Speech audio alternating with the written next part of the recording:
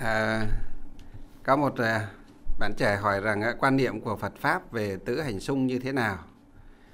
À, Phật pháp thì à, không có chấp nhận cái vấn đề tứ hành xung hay là ngũ hành xung gì gì đó, mà Phật pháp ấy, Đức Phật nói gì về nhân quả, về luật nhân quả. Chứ con người ta sống ở trên đời này à, khổ đau, an vui hay hạnh phúc đều là do cái nhân thiện hay là nhân ác chúng ta gieo trồng ở đời trước kiếp trước và đời này kiếp này. Mà có cái cuộc sống hiện tại an vui hạnh phúc hay là khổ đau à, phiền não của chúng ta này vậy. Cho nên ở đây thì à, nếu mà xét về cái quan niệm của Phật pháp mà nói thì cái chuyện tứ hành xung này chắc chắn là Phật pháp không chấp nhận. À, không chấp nhận. Vì tất cả đều là theo theo nhân quả nghiệp báo mà tự chúng ta gây tạo cả cho nên chúng ta thấy là duy nhất chỉ có đạo Phật ở trên thế gian này là nói là con người ta chính là chủ nhân ông của nghiệp. Tức là chúng ta là người tạo nghiệp và chúng ta cũng là người gì? Người thụ quả. Phật giáo không chấp nhận là con người ta sinh ra trên đời này là do một đấng thần linh nào, một đấng chúa tể nào là sáng tạo và ban phúc giáng họa cho chúng ta mà chính do bản thân chúng ta tạo nên. Cho nên á, cái việc mà à, bảo là xem à, tuổi không hợp mà bố mẹ cấm đoán không cho lấy nhau á vì lấy nhau sợ sau này con cái mình bị khổ cái này là không đúng với cái à, giáo lý nhân quả của nhà Phật nói. Đây là đây là cái pháp của thế gian.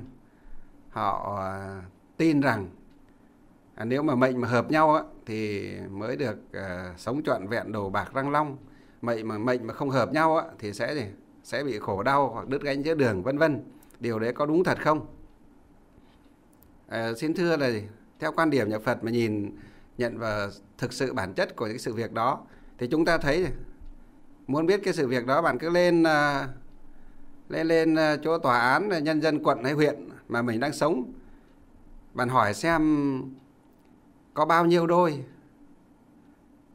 Hợp mệnh, hợp tuổi, không bị tứ hành xung mà đưa nhau ra tòa. Và có bao nhiêu đôi? À, không hợp mệnh, không hợp tuổi phạm tứ hành xung đưa nhau ra tòa.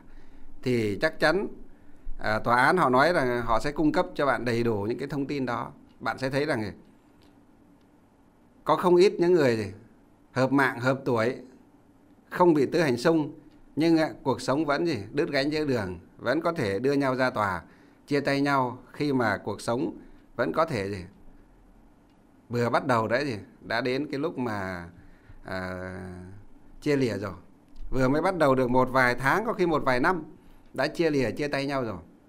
Nhưng cũng có những người gì bạn đi kiểm tra thấy có những gì những người họ không hợp mạng không hợp tuổi phạm tứ hành xung nhưng mà họ vẫn yêu thương nhau đến gì đến trọn đời từ khi cưới nhau cho đến nay là bảy, tám mươi tuổi, thậm chí họ họ chưa nặng lời với nhau một một lần nào.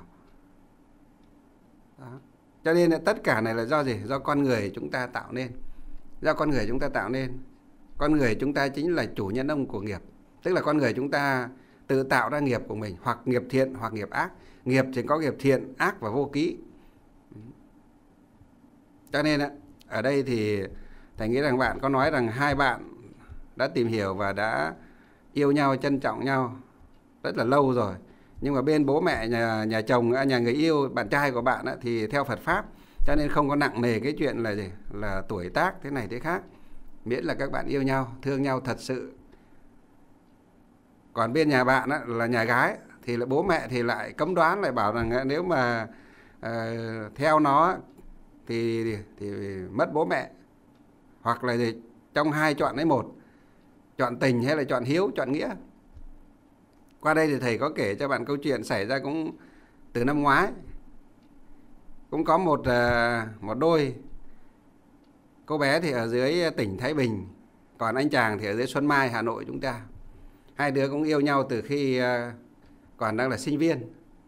Ra trường thì rồi thì hai đứa vẫn yêu nhau, nhưng đặc biệt là bên nhà bạn trai thì cũng thế, cũng bảo là tứ hành xung nam nữ xung khắc cho nên là không thể nào mà chung sống với nhau được.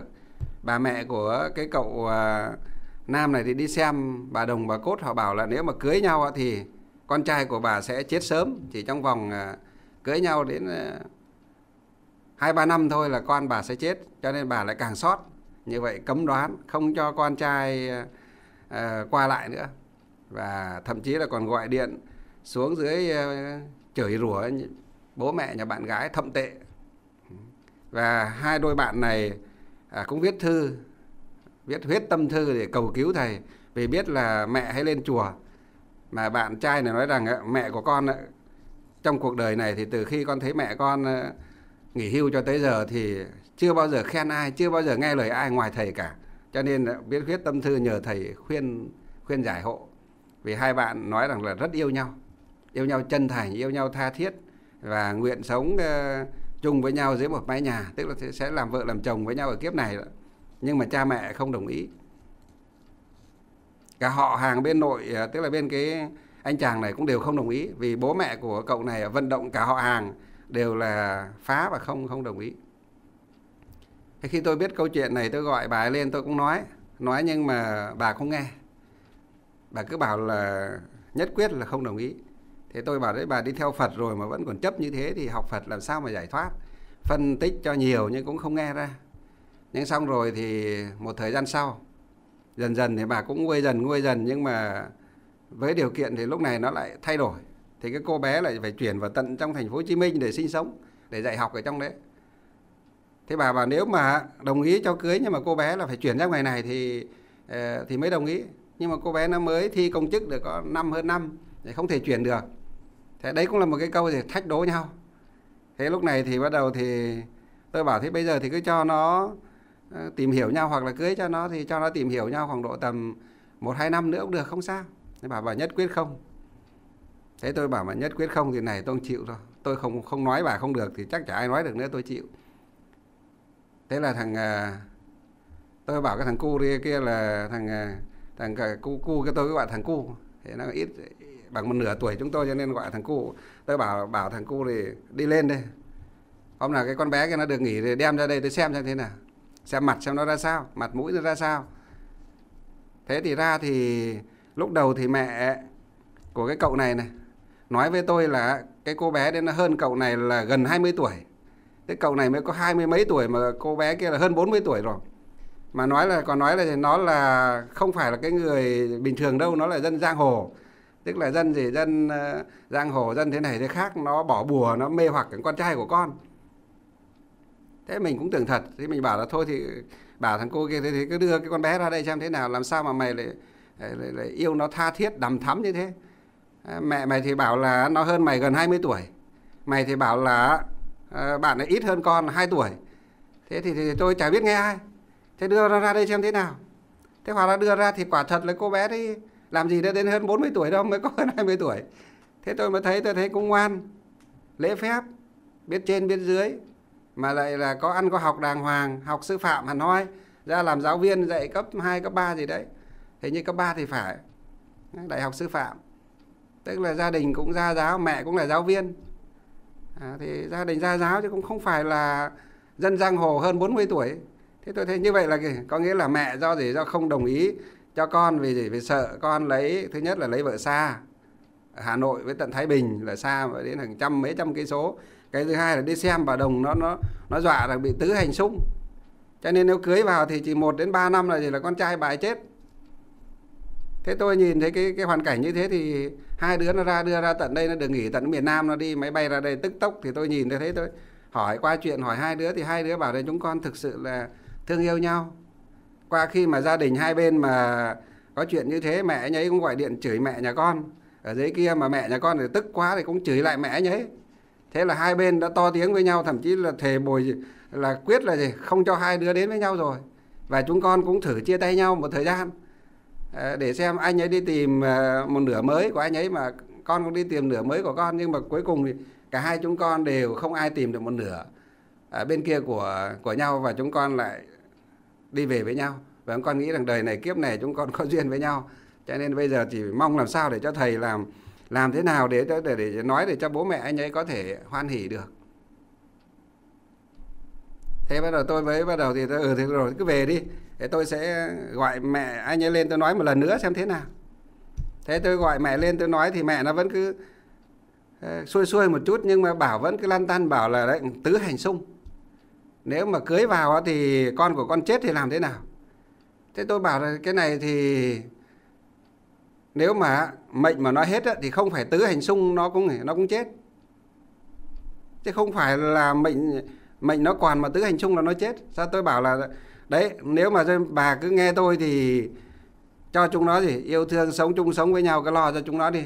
Nếu mà mệnh của nó mà còn á, mà do tứ hành xung mà chết á thì tôi chết thay cho con trai của bà tôi nói như vậy và tôi bảo lãnh nha nếu mà mệnh con của bà mà hết rồi á thì tôi chịu. Mà mệnh con của bà mà nó còn mà do cưới vợ mà nó chết á, thì tôi sẽ chết thay. Tôi nói đến như vậy rồi mà bà vẫn còn lăn tăn. Nhưng xong rồi thì nhưng mà tất nhiên là cũng xuôi xuôi hơn một chút. Thế bắt đầu thì hai tôi bật đèn xanh cho hai đứa và thôi bây giờ thì hai đứa phải quyết định đấy. Bật đèn xanh cho hai đứa quyết định quyết định kiểu gì là do chúng mày quyết định lấy tôi cũng chẳng thể nào bày mưu cho chúng mày quyết định được. Thế là nghe tôi nói như thế, bắt đầu về một cái thế là cô bé kia vào trong miền Nam dạy học thì mấy tuần sau cô, cậu kia nhắn tin cho thầy thầy ơi, con đi tìm với một nửa cuộc đời của con đây. Thế thế là nó vào miền Nam, nó vào đây khoảng độ tầm 4 năm tháng. Thì vừa qua cuối cùng thì bà mẹ đi lên nói xin với tôi là, thôi bây giờ nhà con thì chịu thua rồi, con thì, nhà con thông rồi, con thì chấp nhận rồi thế thầy tới đây cho chúng con này. Để đi xuống ờ, nhà bạn ấy để chúng con thì xin phép. Ông bà dưới đấy để, để chúng con để thôi cho cưới cho chúng nó. Thì không có bây giờ thì chúng con mất mất con. Thế thì nó đi nó đi bắn mấy tháng đấy nó trả điện thoại trả gì nữa cả cho cho ông bà biết tay. Đã thế thì muốn mất con thì nó đi bắn cho mấy tháng luôn. Thế là cuối cùng là để thua nó. Và vừa qua phải phải xuống tận nơi để cưới cho nó.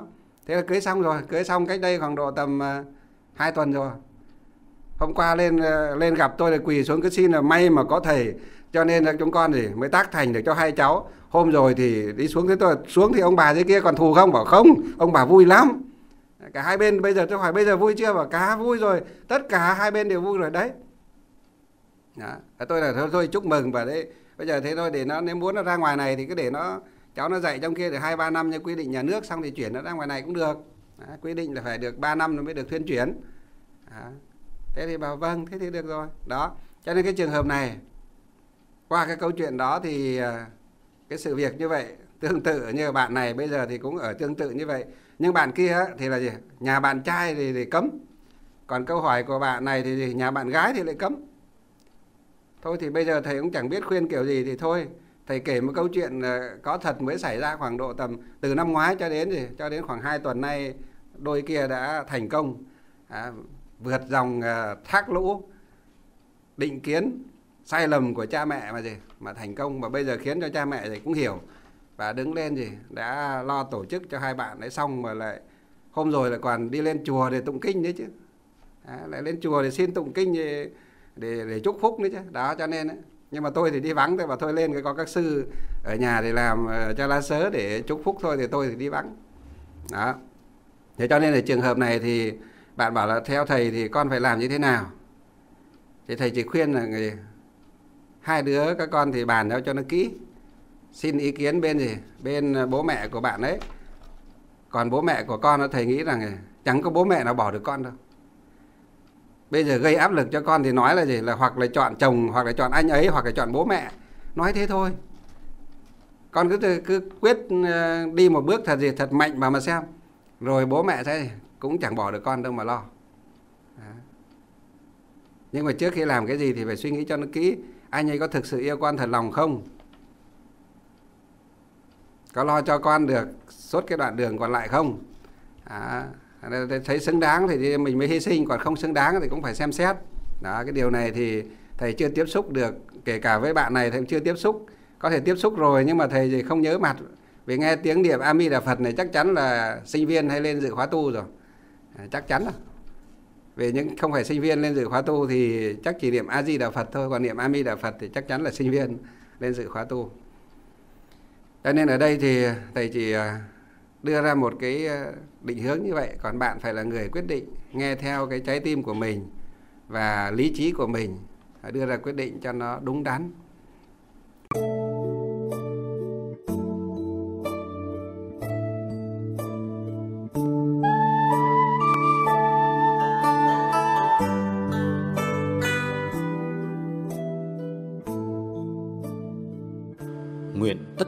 chúng sinh đều tín niệm Di Đà, đồng cầu sinh về nước cực lạc.